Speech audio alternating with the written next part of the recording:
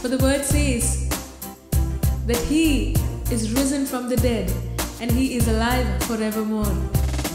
ఆయన మరణమును జయించి తిరిగి లేచి యుగ యుగములకు సజీవుడు ఆయన స్థుతించి కనపరుద్దామా సంగమా Jesus, He is alive. Jesus is alive. Jesus